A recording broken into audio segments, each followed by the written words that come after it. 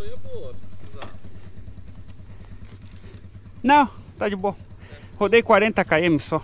Eu vou precisar, eu acho. Bedão, manda um abraço aqui pra galera. Beleza? Um abraço, é nóis. Estamos aqui em Sorocaba, no Beda, recebemos apoio aqui. Agora a gente vai tentar arrumar a embreagem da moto. Ó a nave do Beda. É só moto certa para viajar que a gente tem aqui.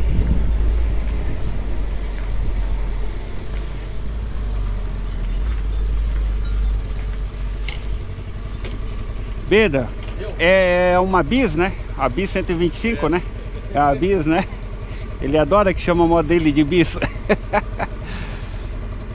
é que para todo mundo qualquer moto nesse estilo é bis, né? Tudo é bis. A Krypton é bis, a Dream é, É, bis, a tudo é bis.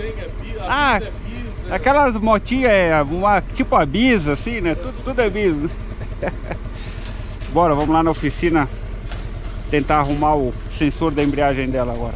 Vamos lá. É o bedão e a criptona dele. Aí roda também.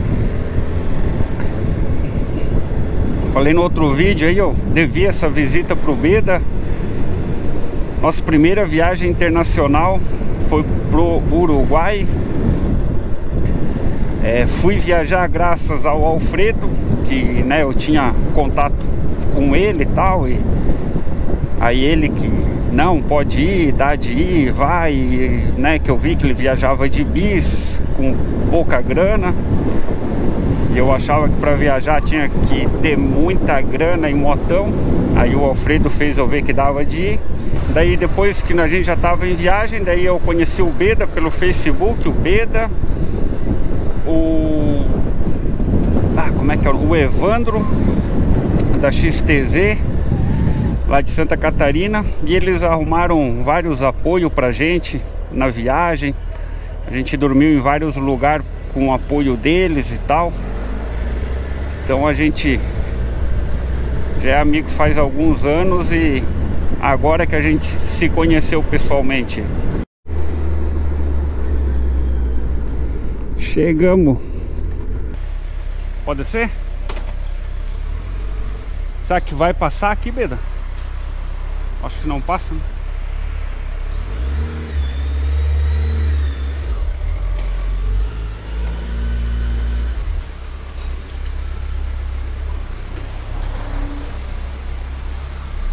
Boa.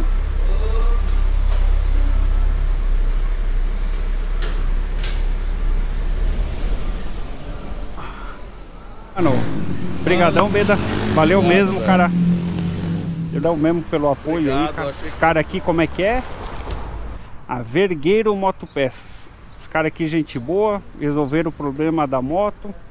Precinho pra viajante, amigo do Beda. Show de bola, cara. Que da hora. Então tá, né? Vai seguir nós um, um pedacinho aqui. Vamos lá então. Obrigadão, tá, Beda? Valeu mesmo. Bom, mano. Os concorrentes. As concorrentes. É, então.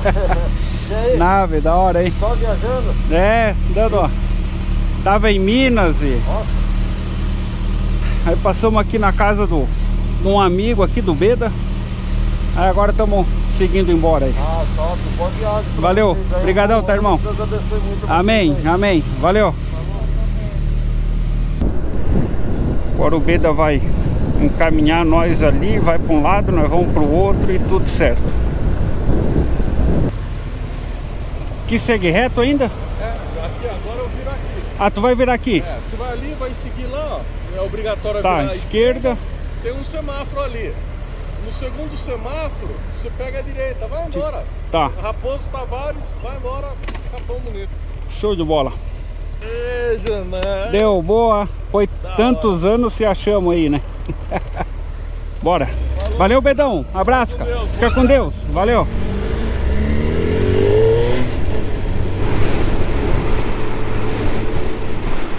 Pegando a, a Raposo agora. Sentido a Capão Bonito. Capão bonito. Aí começa o, o rastro da serpente. Essa é uma estrada meia polêmica que muita gente endeusa muito o rastro da serpente. Um dia eu li até duas matérias. Uma, o cara dizendo que para ser motociclista, para se considerar motociclista, tem que passar no rastro da serpente. e o outro falando que no rastro da serpente separa os homens dos meninos. é porque eu acredito que eles nunca rodaram em estrada peruana, boliviana. Lá sim é punk. É...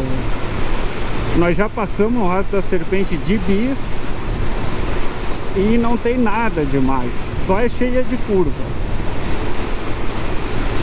Ela tem, 200, eu não sei exato, mas 260 e poucos km, se eu não me engano. E 1.200 curvas, eu acho que é. É. É muita curva, mas é uma estrada comum, não tem nada de nó. Separa homens do, dos meninos. Para ser motociclista tem que passar ali, não. Não tem nada demais é legalzinho, é estrada no meio do, né, bastante verde e curva. Mas nada de tão fenomenal. Mas vamos passar lá de novo. Bora! Para esses lados aqui da boa, a moto não paga pedágio. Show de bola. Vamos lá, faltam uns 20 km para chegar em Capão o início do rastro da serpente. Ali vão parar, abastecer, almoçar e acelerar. Ali é o portal do rastro da serpente.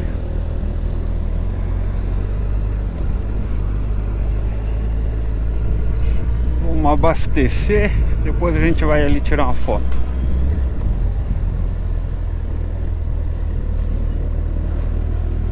Harlão. Não, e agora antes de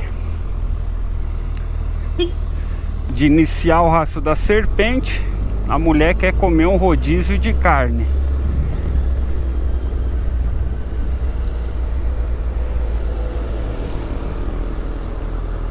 Tem cabimento? Aí indicaram aqui uma churrascaria. Vamos ver onde é.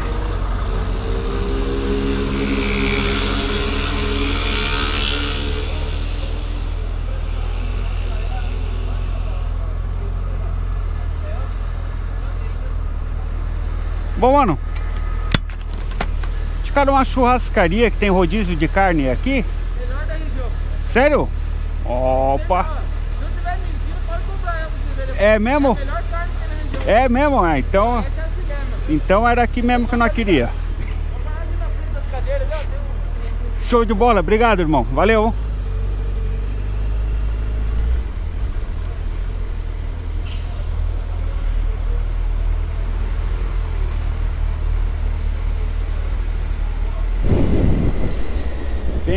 Rodízio da hora. Já vai se pilotar agora de barriga cheia. Agora eu vou ali no centro. Eu preciso comprar um cartão de memória. Eu trouxe quatro cartão de 64 GB e já tô no último acabando já. Preciso achar um cartão. Senão lascou-se tudo. Vou perder filmagens, hein? Cartão, um rapazinho da moto aí, uma GS 700, eu acho que é. Viu nós andando aqui, já parou, perguntou se precisava de ajuda. Aí já levou a gente ali comprar o cartão. Agora vamos até ali no portalzinho tirar uma foto e, e iniciar o, o rastro da serpente. Vamos lá. Pô, a moto é da hora isso, cara. Pô, onde tu para, já para 10 pra te ajudar. Show de bola.